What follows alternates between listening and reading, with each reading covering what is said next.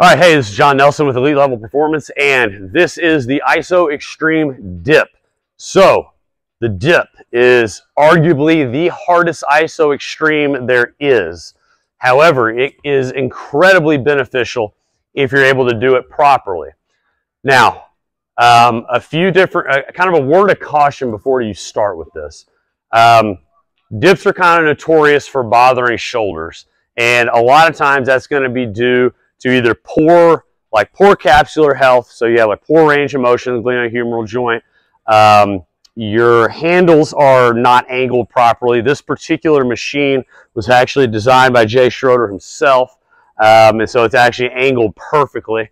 Um, and the other side of it is going to be you're just not in good position, and so you're putting a lot of load on the anterior part of the shoulder, the front of the shoulder. So this is a really complicated one. So I would I'd highly advise before you just get into this one to watch this video a couple times. And if you have questions, ask.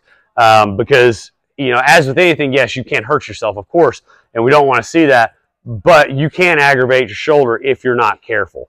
So, and honestly, even in 11 years of doing this, I would say this is one of the ISO extremes that I have used the least, but for the population that can definitely get there, I really do like to use it because it's great for throwers. It's, it's great for everybody because it's going to help open everything up, very similar to how that push-up does.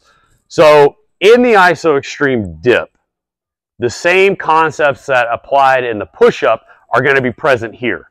We're going to have forearms 90 degrees to the handles or to the ground. Our elbows are going to be about 45 degrees away from the body, okay, 30, 45 degrees away from the body. We're going to be squeezing the upper back and shoulder blades. One of the things with this one is we want to try to curl up in a fetal position. So we always do it here, okay, but just so you can see me, I'll go here for right now. With this, what you would do is the, as you sink down into that position, we kind of want to curl up in a little bit of a fetal position like this, okay, kind of like a little bit of a ball. I don't want to see legs out or legs behind. I kind of want to like right about here. I don't want legs crossed or anything like that. And remember, I'd actually be turned around the other way on this one. Um, but just for the video purposes, you, you see what I'm doing.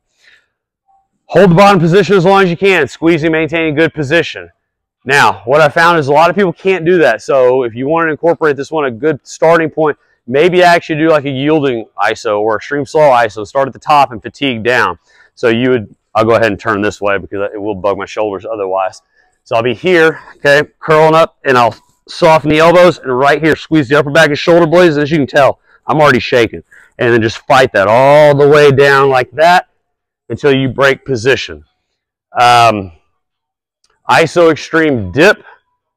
If you have any questions, as with the other ones, leave a comment uh, below or send us an email at info at elitelevelperformance.com and uh, we'll be happy to answer it.